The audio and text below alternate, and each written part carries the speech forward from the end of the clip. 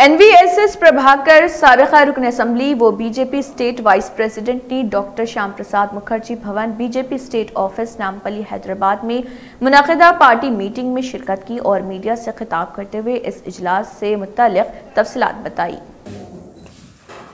पेद्दपल्ली में advocate couple का कल हत्या हुआ है। ये हत्या पूरी तरह की सरकार की हत्या है।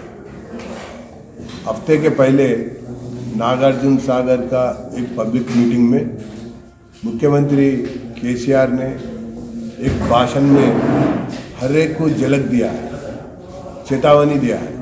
अगर हम चाहे तो हम सोचे तो कोई न नहीं बचेगा।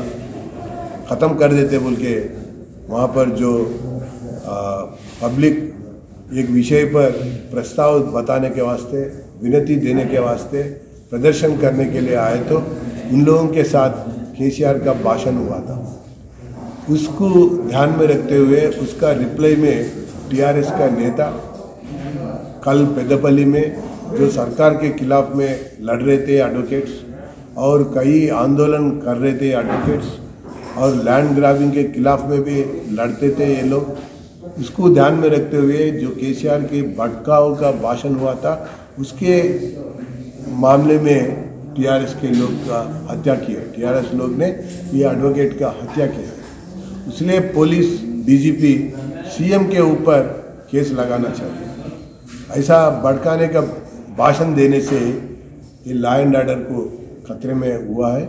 और साथ साथ में आज के दिन DGP office CP SP office और लोकल पुलिस स्टेशन ऑफिसेस ये पूरा टीआरएस नेताओं का मनमानी से चल रहा है। वो लोग जिसके ऊपर केस बोले तो केस होता है, रिहाई बोले तो रिहाई होता है और हत्या बोले तो हत्या होता है। ये पूरा पुलिस राज तेलंगाना में चल रहा है। और साथ साथ में पेट्रोल के बारे में, डीजल के बारे में अपने सरकार जो एंट्री टैक्स और वैट ने लागू किया है, ये देश में बहुत ऊँचा स्थिति का वैट टैक्स है। 35 परसेंट वैट टैक्स वसूल कर रहे हैं और एंट्री टैक्स भी 8 परसेंट इस पेट्रोल पे डीजल पे लागू करने से है। आज ये दाम बढ़ते जा रहा है। इंटरनेशनल बैरल बढ़ना, कम होना, वो अलग बात है। मगर प्रदेश सरकार इतना ज़्यादा वैट टैक्स लगाना कोई प्रदेश में नहीं है और तुरंत केसीआर इसके बारे में सोच के और वैट को कम करना बोल के मैं डिमांड कर रहा हूँ।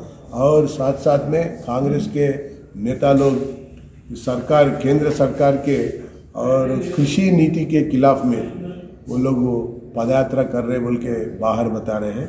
मगर वो यात्रा किसान के लिए नहीं है और किसान के मदद के लिए भी नहीं है। केवल पीसीसी अध्यक्ष कौन बनना है, कब बनना है, और उसके लिए ये पूरा बल प्रदर्शन जारी है। ये का अध्यक्ष राहुल गांधी भी वही काम कर रहा है। यहाँ पर जो भी पीसीसी अध्यक्ष बनना चाहते ये लोग भी वही काम कर रहे हैं। ये लोग किसान के साथ में, किसान के बारे में, किसान के लिए सोचते नहीं, करते नहीं, कुछ काम का भी ये लोग करने वाला नहीं है, केवल पोस्ट के लिए उनका यात्रा चल रहा है।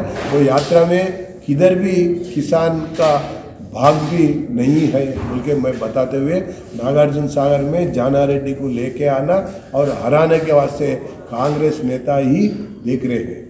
अगर जाना रेड्डी एक्टिव बने तो पीसीसीआई पोस्ट चले जाता दूसरे को बोल के, और उन्होंने एक्टिव बने तो सीएलपी लीडर दूसरे को आ जाता बोल के ये दो लोग उनको लेके आके हराने के वास्ते देख रहे हैं ये चल रहा है राजनीति धन्यवाद థ్యాంక్ యూ సార్ ప్రేక్షకులకు ఆదాబ్ మరియు నమస్కారం నేను వెంకటేశ్వర రాజుచారి ఈ హైటెక్ టీవీ అండ్ ఎంటర్టైన్మెంట్ ఛానల్లో మీ ముందు ప్రసిద్ధ పొందిన డాక్టర్లచే మీ ఆరోగ్యం మరియు మీ సమస్యలకు సమాధానం చెప్పబడును ఈ కార్యక్రమం పేరు మీరు మీ డాక్టర్ అండ్ మీ సమస్యలు దానికి పరిష్కారము. ప్రతి సోమవారము బుధవారము శనివారాలలో రెండు పగలు రెండింటి నుంచి మూడింటి వరకు ఈ కార్యక్రమం ప్రతిరోజు చూడవలసిందిగా మనవి. నమస్కారం